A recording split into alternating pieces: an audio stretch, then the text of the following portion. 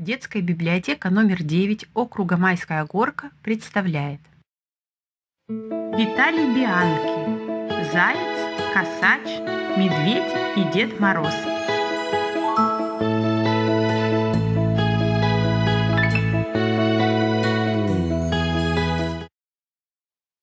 Злой голой осенью вот уж плохо стало жить лесному зверю. Плачет заинька в кустах.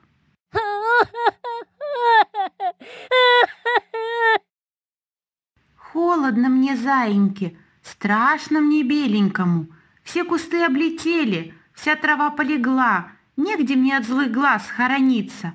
Надел шубку беленькую, а земля черным черна. Всяк меня видит издалека, всяк меня гонит, ловит. Пропала моя бедная головушка. Косач Тетерев с березы бормочет. Боюсь понизу бродить, Боюсь ягоду клевать, на верховище сижу, кругом гляжу, одни сережки клюю. Ветром меня на ветках качает, дождем меня мочит, сидеть нет мочи. Медведь ворчит.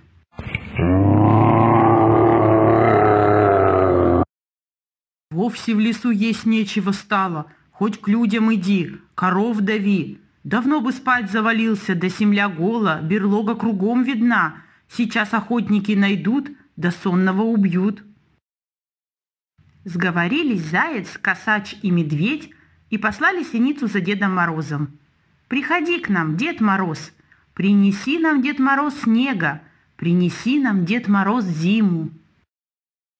Дед Мороз покряхтел, пришел, мешок снега на лес высыпал,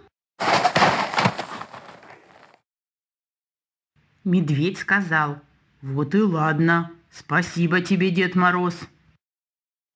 Залез под кучу валежника, кучу снегом запорошила, и не видать, что там берлога.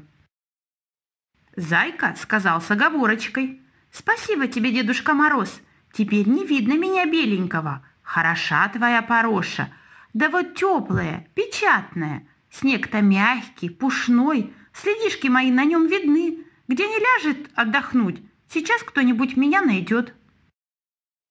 А косач тот даже спасибо не сказал. «Какая это?» – бормочет.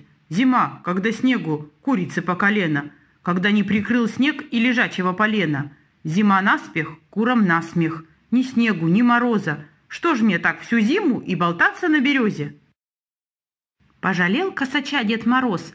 «Давай снег на лес большими мешками валить, да примораживать, чтобы крупинчатый был.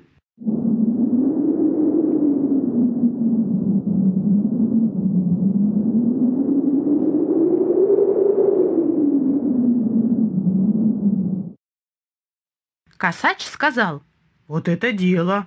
Да бог с березы в снег. Там и заночевал. В норке-то тепло и не видно. Зайка сказал, «Детка Мороз, а со мной-то что ты делаешь? Легко ли мне по эдакому снегу бегать? Глубоко, ведь по уши в него проваливаюсь. А тропой пойдешь, тут тебе и леса встреч, тут тебе и капканы выставлены. Ты меня, зайеньку, пожалей, сделай, чтобы сверху снег был корочкой». А медведь тот ничего не сказал, спал. Пожалел Дед Мороз зайца, стал днем снег растоплять, побежали под валежник струечки.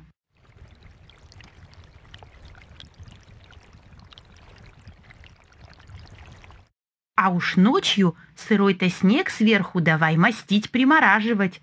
Сделал наст крепкую ледяную корку.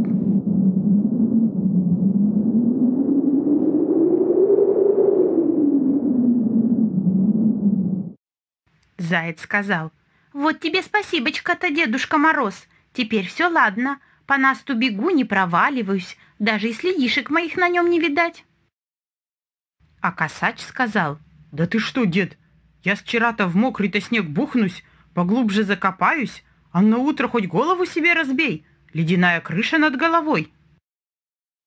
А медведь как выскочит из берлоги, да как рявкнет.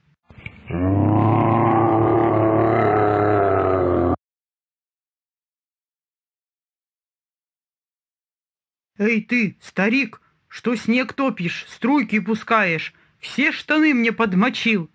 Шарахнулся от него Дедушка Мороз. «А ну вас!» — говорит, привереды. «Кому чего? На всех не угодишь.